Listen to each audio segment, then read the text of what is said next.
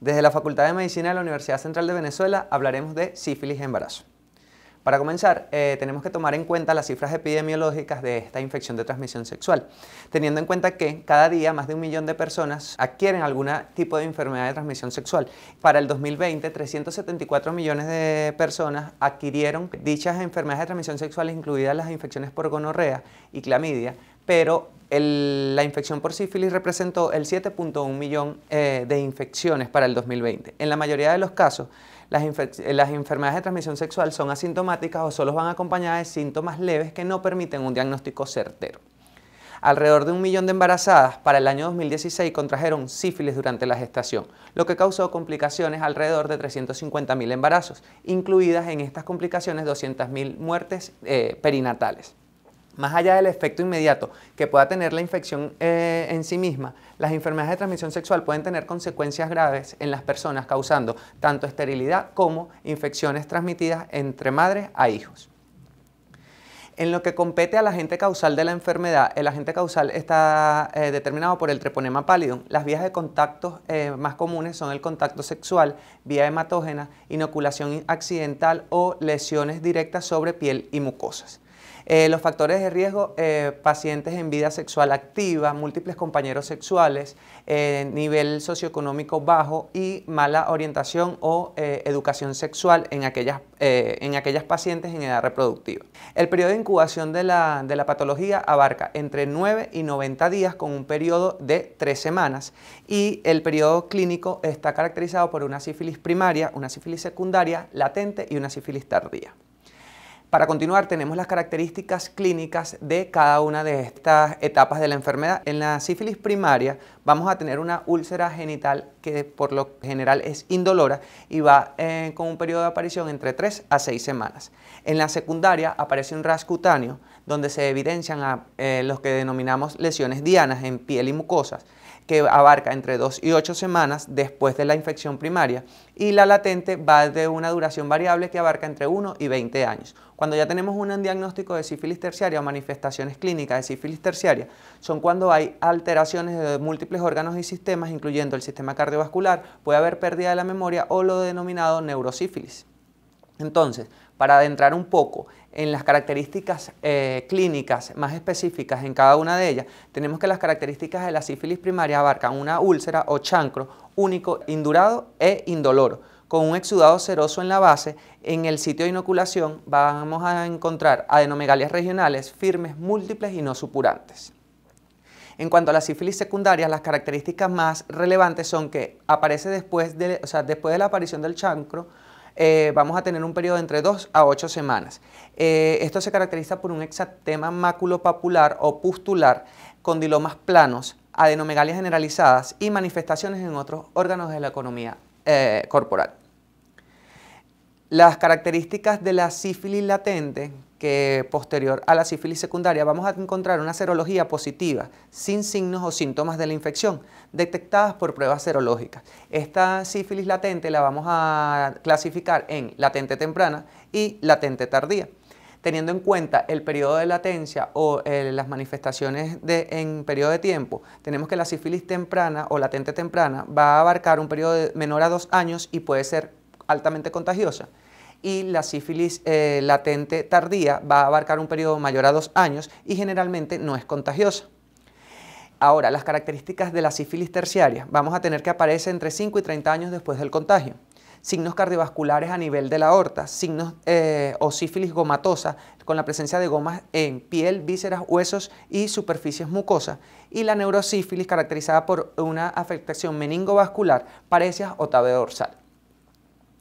Durante el embarazo, que es la competencia en este tema, en todo control prenatal se debe indicar el BDRL en la primera consulta prenatal y por lo general exacto eh, al inicio del tercer trimestre.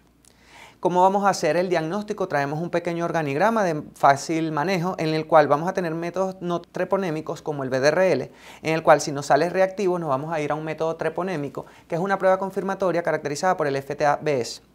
Posterior a este, si, el, si nos sale reactivo, confirmaríamos la enfermedad y si nos sale no reactivo, descartaríamos la infección por treponema pálido. No así, cuando el método no treponémico nos sale no reactivo, nos quedamos eh, tranquilos. La sífilis materna en cualquier etapa puede afectar el producto de la concepción. Sin embargo, teóricamente, eh, antes de las 18 semanas de la gestación, la afectación es infrecuente y el riesgo guarda relación con el nivel de espiroquetas eh, a, nivel materno. ¿Y por qué no se da la infección antes de las 18 semanas? Todo es por el sistema inmunológico fetal que eh, no está completamente desarrollado y no hay respuesta fetal a la infección intrauterina. ¿A qué se asocia la sífilis en la gestación? Se asocia a abortos, partos prematuros, óbito fetal y sífilis congénita. El tratamiento, el tratamiento va a depender del estadio en que se encuentra la enfermedad. Por lo general, cuando tenemos una sífilis temprana, lo tratamos con penicilina benzatínica de 2.4 millones intramuscular eh, STAT o dosis única y acompañado de doxiciclina a 100 miligramos eh, vía eh, dos veces al día por 14 días.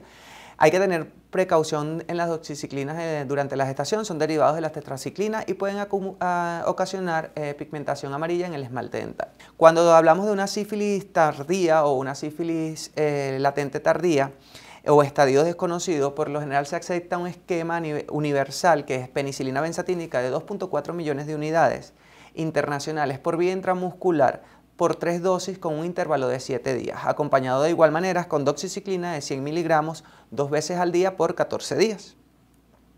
Ahora bien, la atención al recién nacido durante la infección por sífilis en el embarazo, eh, tenemos que tener en cuenta que si la sífilis eh, congénita es confirmada o niños que son clínicamente normal pero cuya madre tenían sífilis no tratadas inadecuadamente, o tratadas con régimen eh, sin penicilina, la penicilina benzatínica acuosa de 100.000 a 150.000 unidades por kilogramo de peso vía intramuscular por 10 a 15 días es uno de los tratamientos de elección. O eh, otra opción sería la penicilina procaína eh, de 50.000 unidades por kilogramo orden día de 10 a 15 días. Los niños clínicamente normales, cuyas madres tenían sífilis con tratamiento adecuado sin signos de reinfección, se sugiere vigilancia estricta y cercana. Ahora bien, cuando hablamos de sífilis congénita, de manera temprana podemos tener, o incluso de manera intrauterina, podemos tener signos ecográficos que nos sugieran la infección a nivel eh, trasplacentario. ¿Cuáles van a ser estos signos ecográficos? Eh, desde el punto de vista fetal vamos a tener un tamaño en lo que es la arquitectura hepática y, del vaso, por lo que se traduciría a una hepatoesplenomegalia. Podemos tener signos ecográficos de hidrox fetal caracterizado por asitis, edema subcutáneo o algún derrame pleural o pericárdico vamos a tener eh, eh, acompañado a su vez de un aumento del grosor placentario, sabiendo que la infección por sífilis aumenta lo que sería el grosor de las vellosidades coriales, que posteriormente en anatomía patológica puede ser diagnosticado por este engrosamiento que se evidencia como en palillos de tambor. Eh, vamos a tener signos de anemia fetal en los cuales podríamos evidenciar o estudiar el pico sistólico de velocidad de la arteria cerebral media, que por encima de 1.5 múltiplos de la mediana para la edad gestacional nos estaría hablando de anemia intrauterina. Pero más allá de los signos ecográficos, vamos a, encontrar en el momento del nacimiento o al examen macroscópico posterior al nacimiento, erupciones maculopapulosas generalizadas, ampollas palmos plantares, coriza nasal, linfadenopatías y osteocondritis. Ahora, cuando tenemos ya infección tardía o signos eh, clínicos de infección tardía por sífilis, vamos a tener que los pacientes van a presentar lesión del octavo par, caracterizado o se va a manifestar clínicamente por sordera. Eh, dientes de Hutchinson, queratitis intersticial, a lo que se traduciría estas tres entidades como la triada de Hutchinson, más eh, la aparición de la tibia en sables, que está dada por lesiones esqueléticas y lesiones viscerales. En cuanto al manejo, el manejo tiene que ser eh, integral. Debemos tener unos puntos claves para evitar complicaciones y bien sea es en la prevención, un diagnóstico temprano o precoz, como se dijo anteriormente, eh, tratar de iniciar el cribado en la primera consulta prenatal. Una vez que se haga el diagnóstico, activar un equipo multidisciplinario para evitar las posibles complicaciones maternas, posibles complicaciones fetales y evitar los efectos adversos durante la gestación. Y esto se logra teniendo un tratamiento adecuado de acuerdo a los esquemas universalmente establecidos.